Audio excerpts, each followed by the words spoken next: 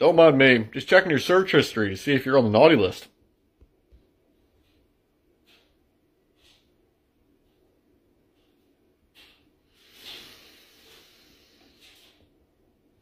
The fuck is wrong with you?